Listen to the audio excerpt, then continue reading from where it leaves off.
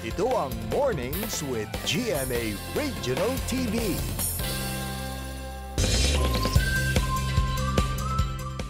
Sa plano po ng uh, Department of Education o DepEd na muling buksan ang lahat ng mga paaralan sa bansa para sa face-to-face classes sa Nobyembre, mahalagang malaman ng mga magulang uh, maging ng mga guro kung paano dapat ihanda ang mga bata sa pasukan.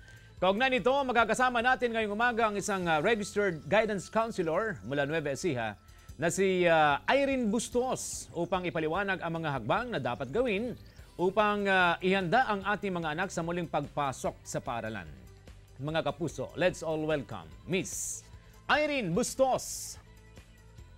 Good morning, Miss Irene, and uh, welcome to Mornings with GMA Regional TV. Hello, good morning CJ, and good morning sa lahat ng mga nanonood, nakikinig. Magandang umaga sa inyong lahat. But anyway, uh, hindi ko na po patatagalin pa. Paano po natin dapat ihanda ang ating mga anak sa pasukan? Lalo na po ngayon na by November, plano ng DepEd na masimulan na ang uh, full-blown na face-to-face classes ng lahat ng mag-aaral, lahat ng estudyante. Yeah, oo nga. At uh, alam mo, CJ, napaka-importante na ihahanda natin yung ating mga eskwela, lalo na yung mga nasa elementary, high school, ano? At uh, dahil ang tagal nilang na nasa bahay, kasi siyempre pag nasa bahay ka, uh, easy ang lahat. Anytime pwede kang gumising. Anytime pwede kang matulog. So, uh, napaka-importante na we establish our routine again. Hindi lang yon ano, dapat ini inire-ready rin natin yung kanilang kaisipan, yung kanilang emosyon. Dahil, kumbaga, iiwasan natin yung mako-culture shock sila pagbalik sa eskwelahan. Kung merong culture shock tayo nung tayo'y nakulong, during the pandemic, itong pagbabalik na ito ngayon, asahan din natin na meron tayong culture shock na ma- mararanasan itong ating mga anak dahil panibagong experience na naman ito.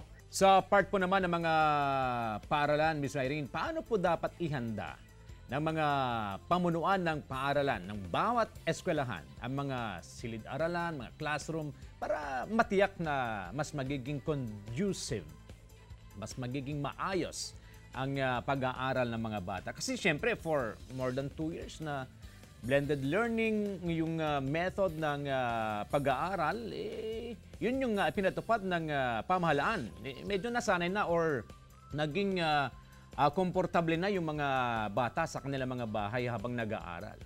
So paano po yung magiging sistema?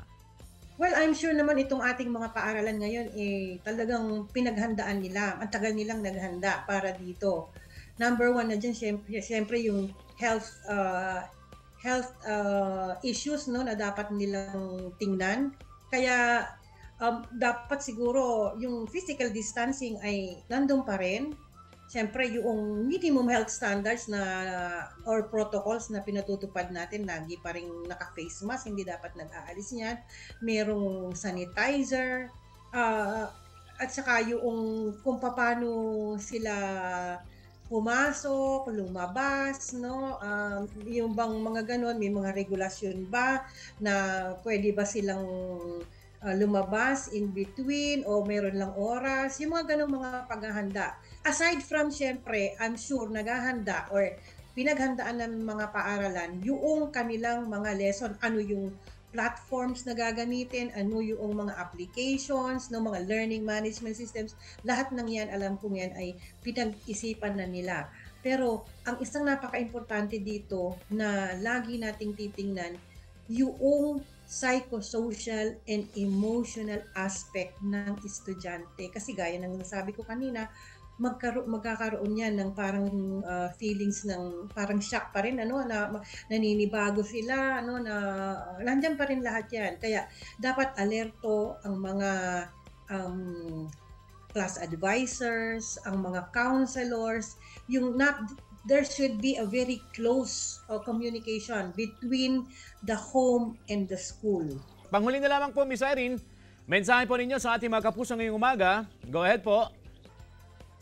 Yes, mga kapuso, no? Ayan kaya nga kapuso, always let us spread love. let us always be grateful.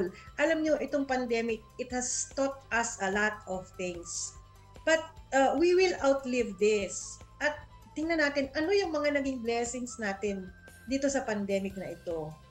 At isa sa mga blessings natin ay ito nga, andito pa tayo, buhay tayo. So let us be grateful and make the most out of our life. No?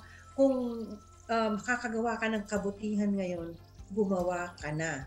And yun nga, mahalin natin ang ating mga sarili dahil kung hindi natin ito mahal, sino pa ang magmamahal sa'yo at paano ka pa magbibigay ng pagmamahal kung hindi mo alam mahalin ang iyong sarili. So, uh, thank you very much, CJ, and thank you very much, uh, GMA, syempre, for uh, inviting me. Ay, nagpasalamat na ako. Okay lang ba yon? Maraming salamat, uh, Miss Irene. Ingat pa kayo lagi. Thank you. Diyan lamang po kayo mga kapuso, magbabalik ang Mornings with GMA Regional TV. Ito ang Mornings with GMA Regional TV.